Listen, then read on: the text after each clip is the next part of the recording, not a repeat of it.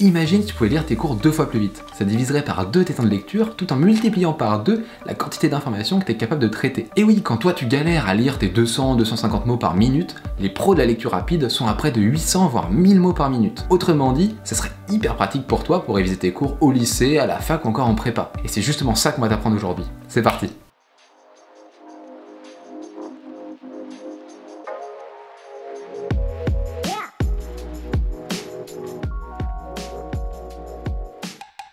Première chose à savoir, la lecture c'est un processus cognitif complexe effectué par ton cerveau à une vitesse assez phénoménale.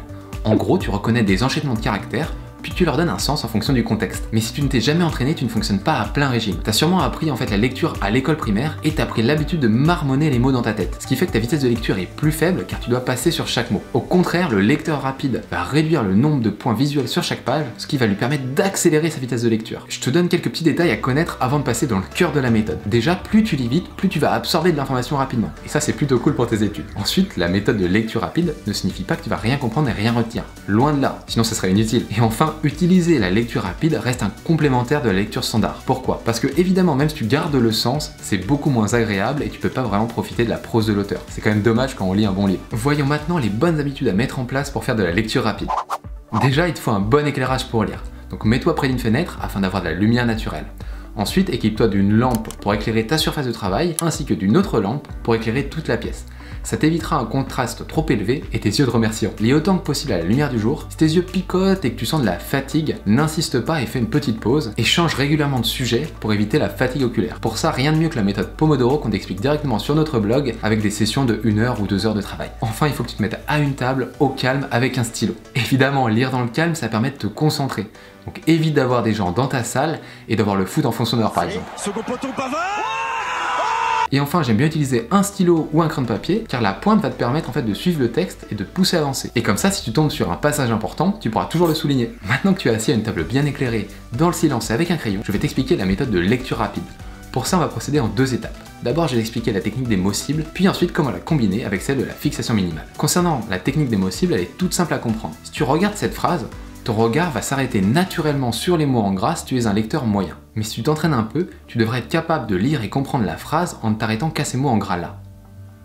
En fait, ce qu'on essaye de faire ici, c'est d'élargir ta vision autour de points de fixation, ces fameux mots cibles. Quand tu lis cette phrase et que tu t'arrêtes seulement à ces quatre mots en gras, tes yeux suivent une sorte de ligne droite moins saccadée. Ce processus, c'est le cœur de la lecture rapide. Ça a l'air compliqué comme ça, mais en fait c'est extrêmement intuitif. Ta vision périphérique, elle est capable en fait de reconnaître les formes et de donner du sens à ton texte sans avoir nécessairement le besoin de passer mot par mot comme tu avais l'habitude de le faire quand tu marmonnais dans ta tête. Tu es donc plus rapide et tu comprends aussi bien, voire mieux. Si on récapitule la technique des mots cibles, c'est extrêmement simple. En gros, tu vas balayer du regard chaque phrase en t'attardant sur un mot tous les 3 ou 4. Le tout sera déchiffré par ta vision périphérique. Maintenant que tu maîtrises cette méthode d'émo-cible, voyons comment la combiner avec la fixation minimale. Cette technique consiste en fait à lire ton texte en ne regardant que le centre de celui-ci. Pendant 2 minutes, entraîne-toi à suivre chaque ligne avec un pointeur. Un stylo, un crayon de papier feront très bien l'affaire. Ce guide visuel va t'éviter en fait de revenir en arrière et ça va te permettre de continuer d'avancer au plus vite. Ensuite, pendant 3 minutes, lis chaque ligne en commençant par le troisième mot à partir du début de la phrase et en finissant par le troisième mot avant la fin. Ensuite, une fois que tu es à l'aise avec cette pratique, essaye pendant 2 minutes de ne regarder que le centre de ton texte et de ne faire qu'une fixation par ligne. Et pour finir, utilise les 3 minutes qui te restent pour t'entraîner sur des textes un petit peu différents. Cela habituera ton cerveau à cette nouvelle vitesse de lecture et tu vas vite progresser. Pour t'entraîner, essaye de lire rapidement des articles de presse tous les jours pendant 10 minutes. Ça te permet de te tenir au courant de l'actu tout en améliorant ta vitesse de lecture. C'est pas mal, non On finit avec les meilleures ressources pour devenir un pro de la lecture rapide. Déjà, t'as deux bouquins qui sont top sur le sujet. La méthode de la lecture rapide par François Richaudot et la lecture rapide par Tony Buzan. Ensuite, pour t'entraîner, t'as 2-3 sites qui sont vraiment pratiques. Déjà, t'as mesexam.com qui te permet de voir ta vitesse de lecture, mais aussi d'avoir un test de compréhension pour vérifier que, bah, tu comprends bien le texte tout simplement. Dans le même genre, t'as tempaction.com et enfin t'as le site Zapreader qui te permet de copier-coller un texte, de définir ta vitesse de lecture et de voir si tu arrives à tenir le rythme. Je crois qu'on a fait le tour sur la lecture rapide. Retiens bien qu'au fond, c'est un processus très intuitif et que tu ne dois pas trop intellectualiser.